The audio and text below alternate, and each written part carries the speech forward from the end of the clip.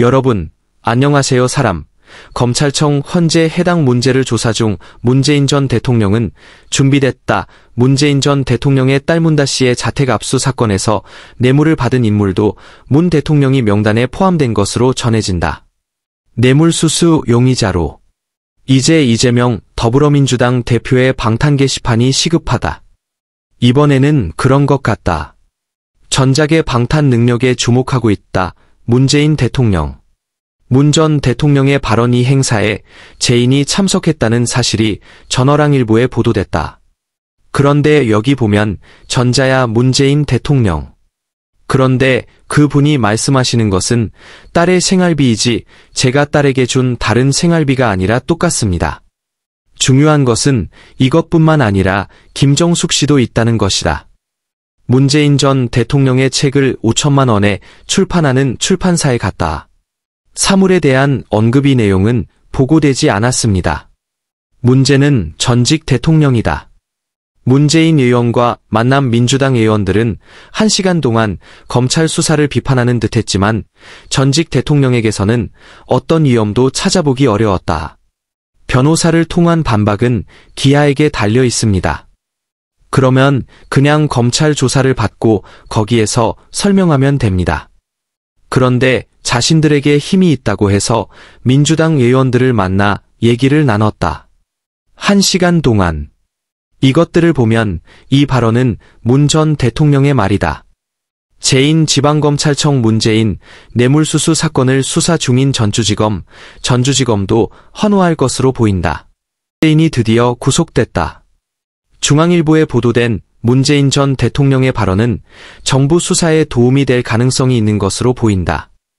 방송을 통해 답변이 나왔습니다. 이제는 문재인 전 대통령이 더불어민주당 의원들을 만나 많은 참석자들이 말했다. 다혜의 딸에게 주는 것은 아니다 생활비는 빼고 임대료. 더불어민주당이 정신을 찾았다 색선. 김 의원과 면담 영진이는 1시간 정도. 지정된 회의에서 당시 공식 게시판 그 점은 전 대통령의 발언이다. 문재인이 검찰이 한 짓 이재명 의원님과 그때 나한테도 보고됐어. 모든 방향에서 메디아. 한 사건의 이야기이다. 공식 회의. 하지만 문 전 대통령은 제인이가 회의에서 또 뭐라고 말했나요? 사적인 중앙일보 신문에 따르면 많은 사람들이 참석한 사람은 문 대통령이라고 하더군요 검찰이 밝힌 이유는 제인이다. 내가 준 거.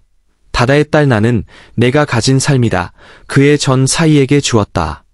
이것이 임대료다 나는 내 딸과 그녀의 아내에게 돈을 지불했습니다.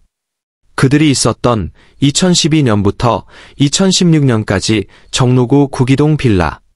임대료가 지불되지 않아 문제가 될 수 있습니다. 그는 자신이 그랬다고 설명한다. 같은 금액을 지불합니다. 현재 관공서 전주지방검찰청이 조사 중이다. 그럼 이게 진짜라면 문제는 임대료가 대행사라는 것입니다. 검찰이 실제로 그랬다. 이거 몰라? 사이 문재인 전 대통령. 이 우려와 관련하여 수많은 사람들이 고통을 겪었습니다. 검찰 수사 중 그때는 그렇지 않았나요? 어떻게 말할까? 돈만 남았나요? 후에 거기서 저는 구동에 있는 별장에 묵었어요. 2016년까지는 그랬지만 그 이후에는 무슨 일이에요? 그럼 당신은 질문을 하시나요? 전직 장군 회장님께서 회원님들께 말씀드리자면 민주당이 그를 돕고 있고 대처 방안이군요. 정부의 탄압 전임자 권리. 이들 국회의원들은 어떤 종류의 변호사? 어쨌든 직업은 문재인 전 대통령이 지지했다. 그 사람은 많은 일에 적합하지 않아 얼굴을. 다이의 딸의 지출 수준 다음과 같은 특정 활동 아무것도 보이지 않는다. 고 그는 말했다. 커뮤니티 분열을 관찰하고 있습니다. 2018년 특히 태국의 경제 공동체. 전 장군의 살아있는 비전 문재인 대통령이 방해를 받았다. 그가 태국으로 이주한 기간 란과 검찰청 그 금액이 2억 2,300만 원이라고 하네요. 급여와 생활비 2년째 활동 중인 사이 태국에 있는 그의 전남편이 그것을 받았다.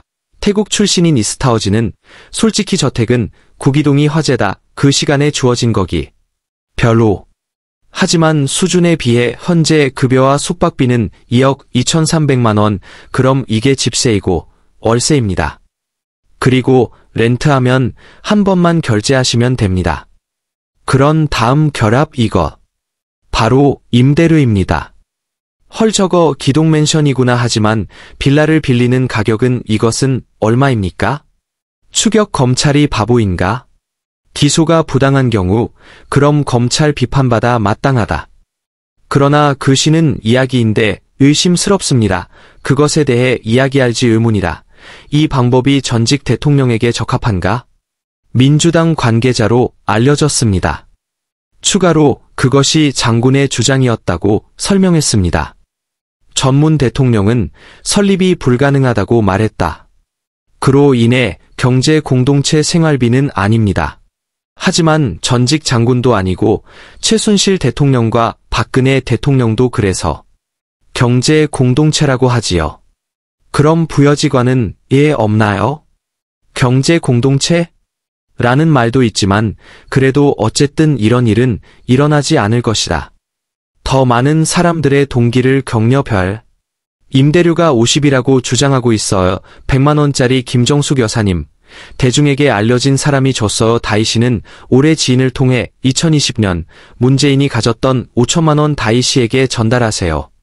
2022년의 만남. 사람들은 이렇게 말해요. 돈 2억 5천만 원 저작권, 마케팅 비용, 렌탈 비용 출판사가 다이 씨에게 독점적으로 보냈습니다. 특별하지만 지금은 그럴 때가 아니다 기간은 2016년까지 구기정이 필라에 살던 시절. 그런데 이도우는 그것을 설명할 것이다. 2000년, 2020년, 2023년, 2024년에 이전에 문재인 대통령 참석 검찰은 너무 많다고 생각했다고 말했다. 해야 할 일과 일을 할 때의 문제 수사는 전혀 관련이 없습니다. 언론이 보도하는 문제는 바로 이것이다.